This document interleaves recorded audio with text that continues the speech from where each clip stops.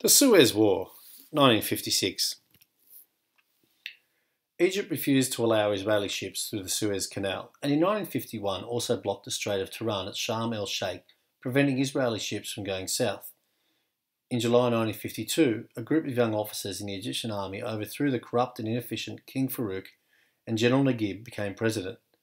The real leader of the Free Officers movement, however, was 34 year old Colonel Gamal Abdel Nasser he took over as president in 1954.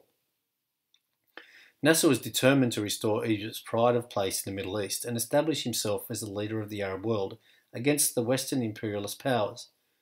Egyptians were discontented that the British troops had not left Egypt at the end of World War II and continued to control the Suez Canal, reducing Egypt to a colonial like status. Part of Nasser's policy was to be seen as the champion of the Arabs against Israel, he encouraged Palestinian refugees in the Gaza Strip to attack Israeli civilians and destroy their property. He also armed these guerrilla fighters, who were called Fedayeen, or self-sacrificers. Between 1950 and 1956, they killed more than 360 Israelis.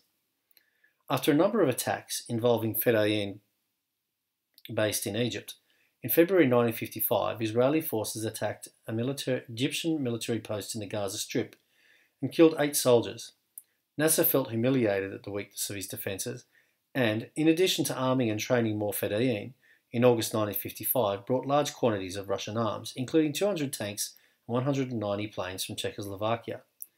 Fed by inflammatory rhetoric on both sides, tension grew to a breaking point. The breaking point between Israel and Egypt arrived when Nasser unexpectedly nationalised the Suez Canal in July 1956. The British and French governments, the major shareholders in the Suez Canal Company, the company that operated the canal, were outraged. The British government owned a controlling share in the company, and in 1955, one third of all ships using the canal were British.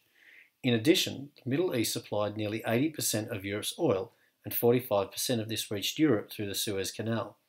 The British were determined to regain the control, regain control of the canal. They were supported in this by the French government, who were concerned about the growing influence of Arab nationalism and the effect of Nasser's anti colonialism on their colony of Algeria. When it became clear that the British were determined with French help to recapture the canal and, if necessary, overthrow Nasser, the Israelis secretly joined, agreed to join the war against the Egyptian president. The three countries hatched a plan of attack, meeting at Sèvres, France, from the 22nd of October to the 24th of October 1956. They signed a secret agreement called the Sèvres Protocol, a summary of what each country had agreed to do. More than 100,000 Israeli soldiers were mobilised, and on the 29th of October 1956, Israeli troops supported by French aircraft attacked Egypt across the Sinai Desert. Israeli forces quickly advanced unopposed towards the Suez Canal before halting as had been agreed with England and France. The Egyptians ignored an Anglo-French ultimatum, ultimatum to withdraw since they were being asked to retreat from Sinai to the west bank of the canal, while the Israelis were just 16 kilometres east of the canal.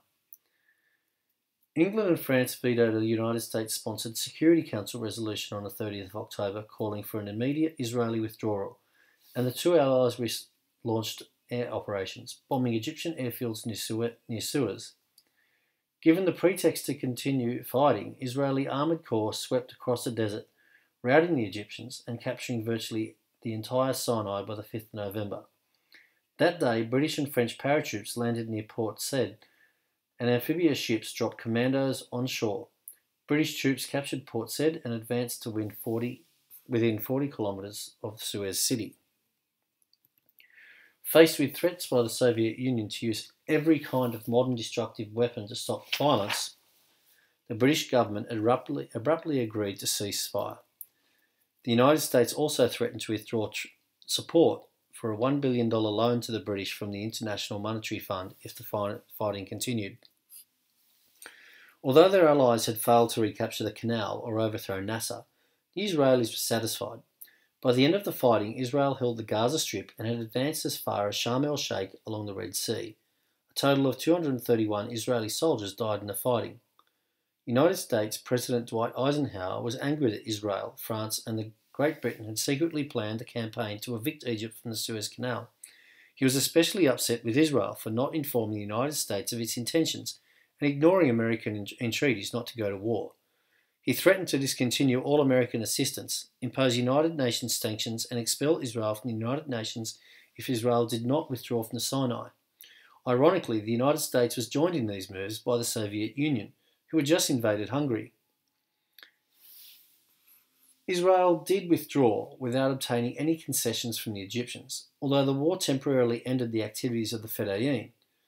However, within a few years, the Fedayeen were reinforced by a loosely knit group of terrorist organisations that became known as the Palestinian Liberation Organisation. The Sinai was to be the scene of the next war.